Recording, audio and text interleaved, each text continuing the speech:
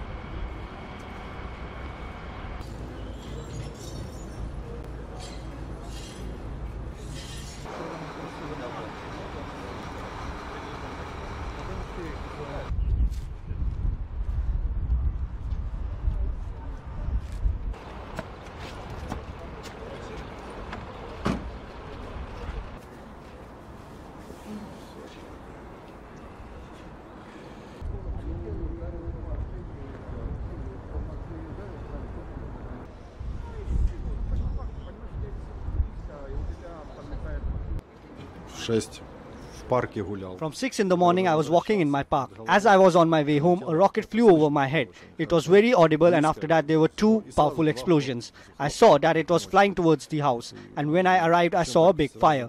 My car was on fire. There was a strong fire, and it was pointless to save the car. It was too dangerous to approach. It's hard to say. It doesn't make sense to me how this can be in the 21st century. There are some kind of wild people, just savages. People go to work at 7 o'clock in the morning and this happens. No one expects this. One has to be more vigilant when there is an air raid and take it seriously.